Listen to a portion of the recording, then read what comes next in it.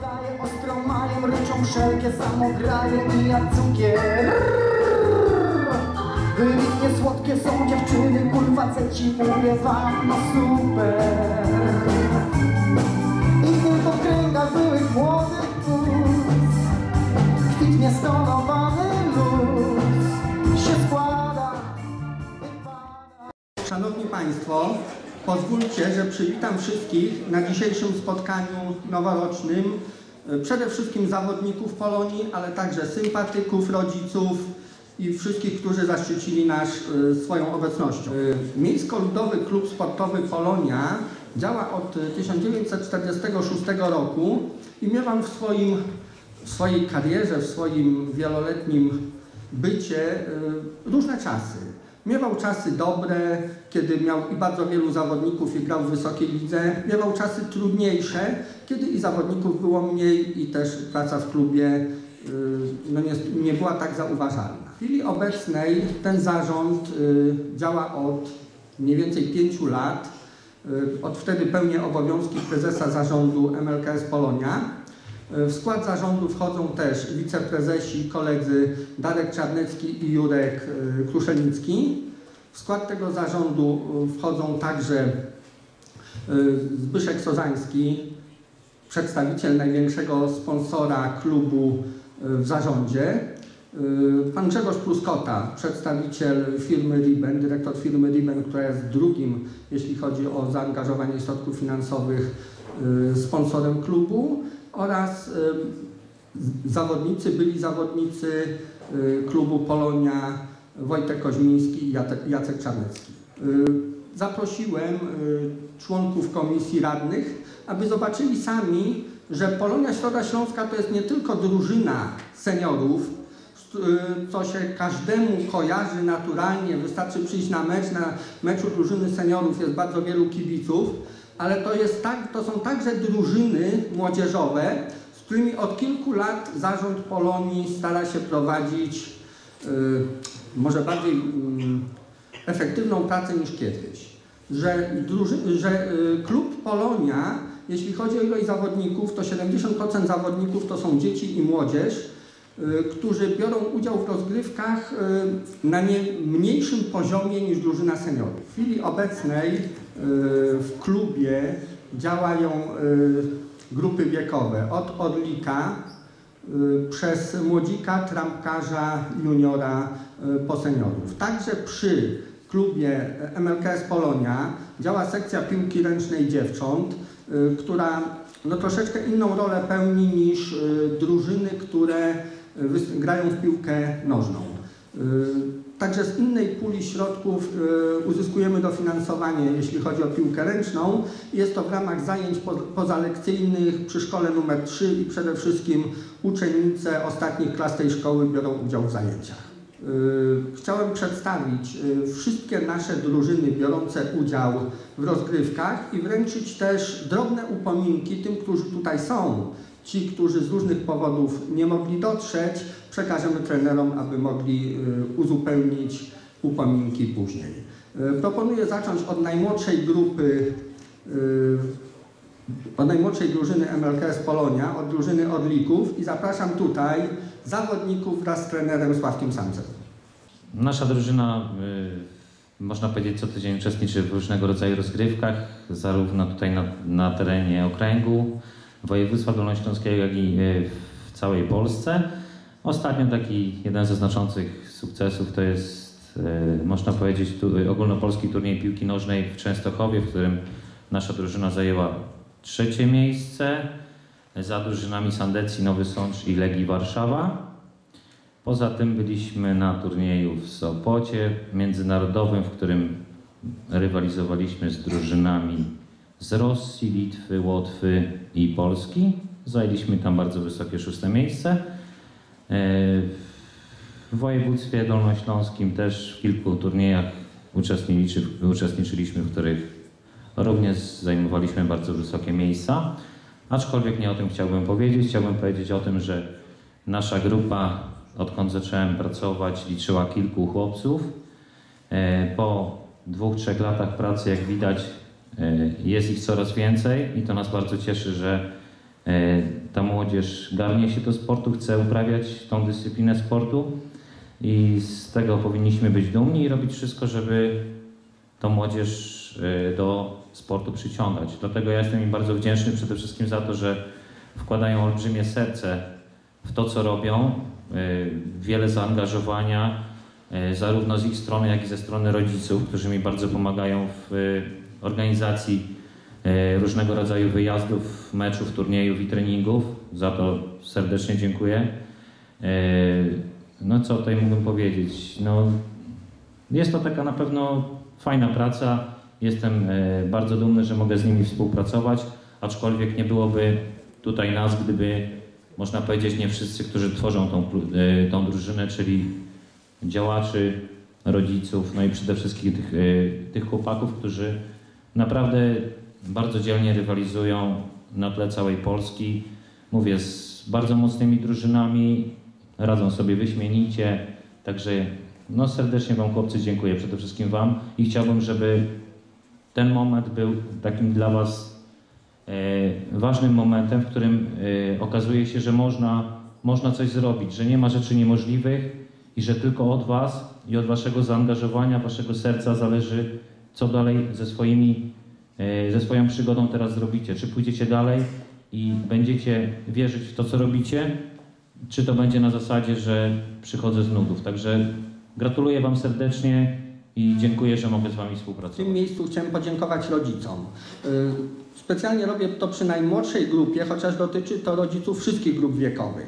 Bo szczególnie im młodsza grupa wiekowa, tym bardziej widać to zaangażowanie rodziców i tym bardziej ono jest potrzebne. Bez pomocy rodziców to nie są zawodnicy, którzy sami potrafią przyjechać na trening, którzy sami pojadą do domu po treningu. Y, Bardzo często właśnie dzięki zaangażowaniu rodziców, te udziały w turniejach, y, dojazdy na turnieje, klub nie jest w stanie, chociaż mam wrażenie, że dzisiaj klub na grupy młodzieżowe procentowo wydaje dużo więcej środków niż kilka lat temu, ale pomimo tego i tak nie będzie nas stać na y, sfinansowanie wyjazdów na takie turnieje jak ten w Sopocie, nie będzie nas stać na y, sfinansowanie wyjazdów ogólnopolskich.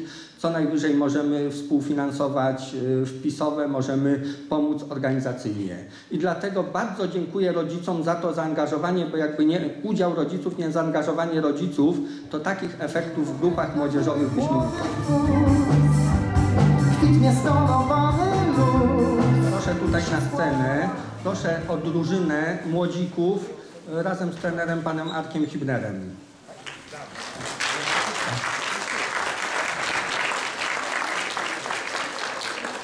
Drużyna młodzików, y, tak jak i trampkarzy, do tego sezonu grała w lidze terenowej i była grupa średzka i grała z drużynami z naszego powiatu. Najdalszy wyjazd to był chyba do Lutyni.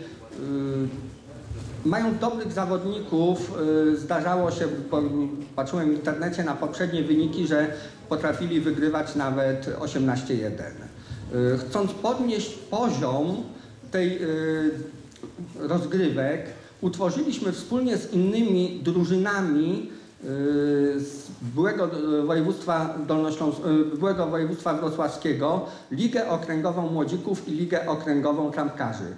Ta liga dopiero od tego roku, od tego sezonu wystartowała, z czym się to wiąże dla klubu. Jak wyjazdy były najdalej do Lutyni, tak w tej chwili te drużyny i trampkarzy i młodzików grają z takimi drużynami jak Parasol, Śląsk Wrocław, Ślęża Wrocław, ale także Lotnik Twardogóra, yy, Oleśnica czy Syców, czy Strzelnianka Strzelin. Te wyjazdy są nie tylko dużo dalsze, dużo bardziej kosztowne, ale także zajmują y, zdecydowanie więcej czasu. Dla ograniczenia kosztów y, dogadaliśmy się, że obie drużyny grają jedna po drugiej. W zasadzie większość rzeczy już powiedział pan Kudryński, także nie będę podobnie jak trener Sławek Samiec przedłużał. Może e, no w tym sezonie e, drużyna młodzików po pierwszej rundzie zajmuje obecnie czwarte miejsce w lidze okręgowej. E, No potrafimy wygrywać tak naprawdę z najlepszymi, ale jak to często bywa u młodzieży, e, choroby czasami wykluczają obecność na niektórych meczach i, i, i no, bywa różnie, że tak powiem. No niemniej jednak podobnie jak trener Sławek chciałem podziękować wszystkim rodzicom, którzy wydaje mi się w ciągu tego pół roku obdarzyli mnie na tyle zaufaniem, że e, nie wydzwaniają co pół godziny za ile będą ich dzieci, tylko powierzają mi je e, w, może w moją opiekę i, i wie, wiedzą, że no, zajmuję się nimi jak tylko potrafię. E, Słowa uznania należą się, no, wydaje mi się, wszystkim zawodnikom, ponieważ wszyscy jednakowo trenują i starają się osiągnąć jak najlepszy wynik. Wiadomo, są chłopcy lepsi, gorsi, ale wydaje mi się, że wszyscy obecnie podnoszą swoje umiejętności dają e, z siebie wszystko na treningach.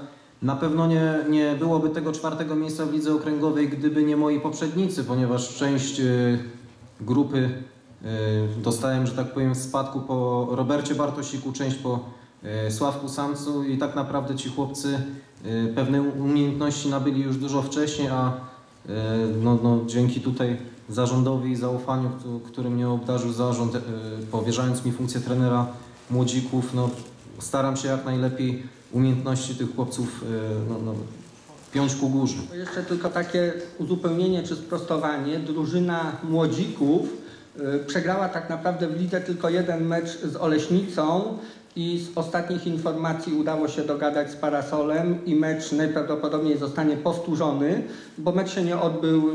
Parasol przesunął termin, myśmy pojechali sporo za wcześnie. Szkoda było chłopaków, żeby czekali 4 godziny na pierwszy mecz i dlatego wróciliśmy, ale Parasol po długich dyskusjach najprawdopodobniej się zgodził i jeśli, jeśli uda się wygrać z Parasolem, to będzie nie czwarte, ale drugie miejsce w okręgu wrocławskim. Także uważam, że to także jest sukces. Yy, Drużyna też bierze udział w rozgrywkach e, halowej piłki nożnej. Ostatni turniej 30 grudnia w Świdnicy, poprzedni dwa tygodnie wcześniej, tydzień przed. Pod Świdnicą w Witoszowie też organizowany turniej przez gry w Świdnica. Młodzicy zdobyli trzecie miejsce. Także także z sukcesami startują w turniejach oprócz oficjalnych rozgrywek.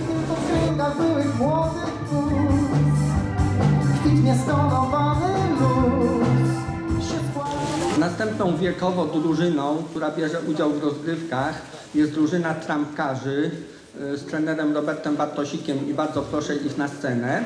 Drużyna ta y, także bierze udział w rozgrywkach klasy okręgowej y, trampkarzy z, tymi samymi drużynami, z którymi grają młodzicy. Y, Jest to naprawdę jak na poziom y, rozgrywek tej grupy wiekowej jest to naprawdę, są to drużyny, y, których pierwsze zespoły grają pierwszej, drugiej lub trzeciej lidze i dlatego uważam już sam udział w rozgrywkach y, jest, y, świadczy o poziomie naszej drużyny, a y, to, że potrafimy wygrywać z najlepszymi, to tym bardziej. Proszę trenera o parę zdań. Dobry wieczór Państwu. Chciałem przedstawić drużynę trampkarzy. Niestety nie, nie są to wszyscy chłopcy. Grupa liczy około 28 osób, które rotacyjnie przychodzą na treningi czy grają mecze. Yy, dochodzą do nas nowi zawodnicy. No co miałem powiedzieć, to już prezes i moi poprzednicy powiedzieli, natomiast chciałbym tylko powiedzieć, że takim sukcesem ostatnim y, rocznika 98, ponieważ tu jest rocznik 98 i 97, to było trzecie miejsce w finale dolnośląskim w Pucharze Lata. Obecnie zajmujemy ósme miejsce w lidze trampkarzy i praktycznie nie mogę nikogo wyróżnić, ponieważ cała drużyna, tak mi się wydaje, robi postępy, a przede wszystkim y, podchodzi do treningu profesjonalnie. I proszę popatrzeć, to z czego my jako zarząd Polonii jesteśmy najbardziej dumni, to z ilości tych młodych ludzi, którzy przychodzą regularnie na treningi, którzy przyjeżdżają na mecze. Y, Są to zawodnicy nie tylko ze Środy, są to zawodnicy z gminy Środa Śląska, pojedyncze osoby także spoza gminy Środa Śląska z powiatu śledzkiego. I dlatego gdyby nie zaangażowanie rodziców, gdyby nie pomoc, gdyby nie zaangażowanie trenerów, y, sam fakt, że Dzisiaj na spotkanie przyszło tyle osób, że tyle osób bywa na treningach, to bardzo dobrze świadczy o podejściu trenerów, bo w tych grupach wiekowych to bardzo często zdarza się, że trener jest ważniejszy dla takiego chłopaka niż rodzice. Ale to, że y, trenerzy, uważam, uważamy jako zarząd, pracują dobrze z młodzieżą, to, to właśnie dzisiaj na tej scenie widać. Tylko w księgach byłych młodych niestonowany luz Następną wiekowo drużyną to jest drużyna juniorów y, prowadzona przez pana, y, przez trenera Mariusza Kargola. Zapraszam na scenę z trenerem. Drużyna od y, kilku lat startuje z różnymi, że tak powiem, wynikami w lidze okręgowej juniorów. Mieliśmy miejsca i w pierwszej trójce, no mieliśmy miejsca i w dolnej części tabeli, no ale generalnie naszym celem w juniorach jest y, szkolenie młodzieży i przygotowanie do gry w pierwszej drużynie. No i myślę, robimy to z niezłym skutkiem. Chłopakom dziękuję za zaangażowanie, za chęci, za to, że są i chcą grać i w tym momencie odnośnie tej drużyny to chciałbym powiedzieć, że jesteśmy na etapie budowy drużyny i chłopcy z młodszego wieku, bo tutaj łączymy dwie grupy wiekowe juniorów młodszych i juniorów starszych. Gramy w lidze okręgowej juniorów starszych. Juniorzy młodsi w tym roku zdobyli w grudniu e, trzecie miejsce na Dolnym Śląsku w halowej piłce nożnej chłopców do lat 15. W drużynie juniorów trenuje około 23 chłopaków i dzisiaj naprawdę są tylko przedstawiciele. Y, Zamierzeniem zarządu i najprawdopodobniej od przyszłego sezonu będzie utworzenie dwóch drużyn juniorów. Y, To, że w tabeli drużyna, chociaż po pierwszych meczach było zaskoczenie, bo była w czołówce tabeli, czego się nikt nie spodziewał, y, ale powiem dlaczego. Drużyna juniorów młodszych i drużyna juniorów starszych to jest odstęp dwóch lat. Y, Dla chłopaków, którzy mają po 16-18 lat, y, to jest okres szybkiego wzrostu, zmiany warunków fizycznych i nie tylko. I bardzo często y, jest duża przepaść między tymi, którzy grają w juniorach młodszych i są w wieku 15 lat, a tymi, którzy grają w juniorach starszych i mają prawie 19. U nas większość chłopaków wiekowo jest, to są juniorzy młodsi, a grają w grupie juniorów starszych. I dlatego będziemy się starali, żeby utworzyć od nowego sezonu także drużynę juniorów młodszych, dlatego że część odejdzie nam y, zawodników z trampkarzy wiekowo i dlatego, żeby nie zderzyli się y, z zawodnikami często 4 lata starszymi, dlatego chcemy utworzyć, chociaż wiąże się to z kolejnymi kosztami, ale chcemy utworzyć drużynę juniorów y, młodszych. Okręgach byłych młodych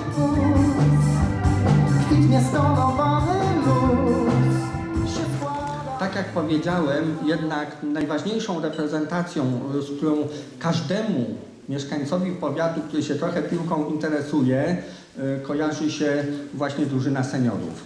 Drużyna seniorów, która od roku jest y, prowadzona przez y, Mirka Drążkowskiego. Drużyna, która rok temu walczyła o niespadek, niespadnięcie z Ligi Okręgowej. W tej chwili od y, początku sezonu runda jesienna nie miała nigdy mm, gorszego miejsca niż drugie lub drugie aequo. W tej chwili y, po okresie y, liderowania w tabeli drużyna Polonii zajmuje drugie miejsce, drużyna seniorów Polonii z, z dużą szansą na awans.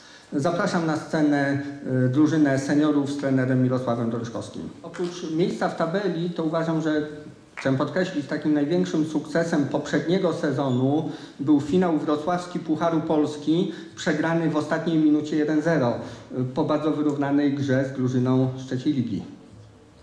Czwartej, czwartej ligi, ale w czołówce. Witam Państwa serdecznie. Dosłownie dwa zdania, bo moi poprzednicy, trenerzy, koledzy, prezes już praktycznie wszystko powiedzieli.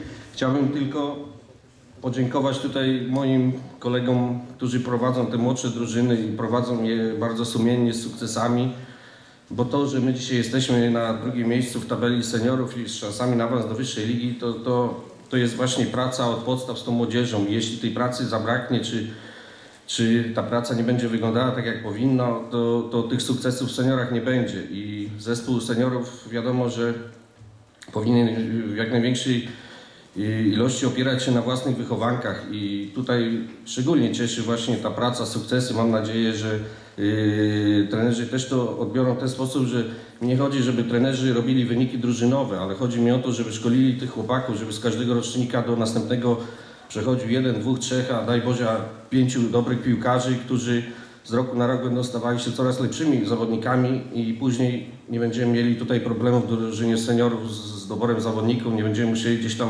posiłkować się bardzo zawodnikami z zewnątrz, bo na tym właśnie polega to szkolenie i, i- tutaj w tym klubie, na tym szczeblu, gdzie jesteśmy w Środzie Śląskiej, Mamy chyba jeden z najbardziej rozwiniętych yy, tych szkoleń, bo, bo tych grup młodzieżowych mam bardzo dużo i tutaj też podziękowania właśnie władzom, sponsorom, rodzicom, którzy wspierają właśnie to szkolenie i pomagają klubowi. Wiadomo, że czasy dzisiaj są trudne i tych pieniążków jest wiecznie mało, brakuje na wszystko praktycznie i tutaj yy, cały czas trenerzy monitorujemy, jakie są potrzeby, klub robi co może, ale yy, tutaj bardziej w formie apelu proszę właśnie, jeśli są członkowie jakichś firm i, i mam nadzieję, że to dotrze jeszcze do, do ludzi, którzy nie są świadomi tego, y, co się składa na, na to, żeby taki zespół młodzieżowy y, funkcjonował, który, żeby mógł wyjechać na turniej, z czym to się wiąże, z jakimi kosztami, z jakimi sprawami organizacyjnymi. I tutaj naprawdę wiem, wiem co trenerzy tutaj prywatnie robią, jakimi swoimi ścieżkami szukają tych pieniędzy. I jeśli by się udało tutaj znaleźć jeszcze lokalnych tutaj biznesmenów, y, ludzi, którzy są w stanie pomóc y, klubowi, nam, trenerom, to na pewno te wyniki osiągane przez te drużyny będą coraz lepsze i, i mamy nadzieję, że czwarta liga, jeśli nie w tym sezonie, bo, bo to jest tylko piłka, to w przyszłym, a być może jeszcze wyższa, to, to będzie tylko kwestia czasu. Dziękuję bardzo.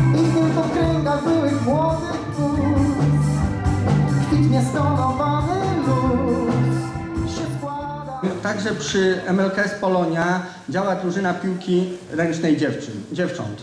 Y, Zaprosiłbym bardzo dziewczyny na scenę i pana Mariusza Kargola, który chwilowo tylko pełni obowiązki trenera tej drużyny.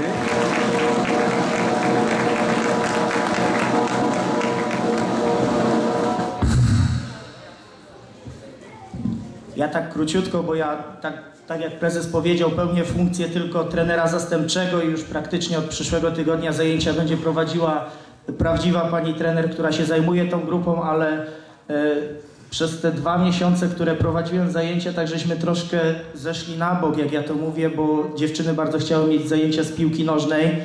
No i tak wyszło, że raz w tygodniu robimy już regularnie te zajęcia. Dziewczyny niektóre przychodzą tylko na piłkę nożną i, i myślę, że do czerwca zostaniemy raz w tygodniu przynajmniej przy tych zajęciach z piłki nożnej. Obiecałem dziewczynom, że będę te zajęcia prowadził, także dzie- dziewczynom dziękuję za zaangażowanie. Dzisiaj właśnie jesteśmy prosto z treningu i wielkie brawa dla dziewczyn. Tak jak powiedziałem, jest to drużyna działająca na trochę innych zasadach jako zajęcia pozalekcyjne dla dzieci ze szkoły podstawowej, przede wszystkim ostatnich klas, ale po doświadczeniach i po turnieju Odlik y, organizowanym co roku przez y, premiera Tuska w całej Polsce na tych obiektach, y, Nasze drużyny dziewczyn wypadły całkiem przyzwoicie, ale był to taki spontaniczne, zrobione drużyny tylko na turniej. Po tym turnieju, bo też miałem okazję chwilę patrzeć, jak dziewczyny grają, y, naprawdę duże braki techniczne, y, brak umiejętności wyrzucenia autu czy tak dalej, y, spowodowały, że między innymi dlatego pewnie chciały się nauczyć i poprosiły trenera o te elementy piłki nożnej i może w przyszłości może w przyszłości, w ten sposób powiem, okaże się, że będziemy mieli też drużynę piłki, piłki nożnej dziewcząt. Y, Na, na razie trenerowi Mariuszowi naprawdę dobrze to idzie. Faceci mówię wam, no super.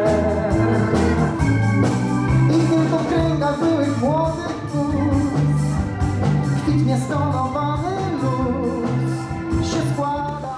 Tak jak powiedział trener Mirek Grączkowski, bez pomocy sponsorów, bez pomocy firm, bez pomocy osób y, prywatnych y, ten klub nie byłby w stanie istnieć. Naprawdę jest wiele firm, które nam pomagają i chciałem z tego miejsca wszystkim bardzo podziękować. Także zaangażowanie członków zarządu, także finansowe, takich jak Darek Czarnecki, Jacek Czarnecki, czy pozostali, bo też nie chciałbym kogoś pominąć, e, pozwala bardziej z optymizmem patrzeć w przyszłość. Koła daje, ostro mają, ryczą wszelkie samograje i jak cukier Wybitnie słodkie są dziewczyny, kurwa co ci mówię wam, no super I tylko w kręgach byłych młodych kus Kwitnie stonowany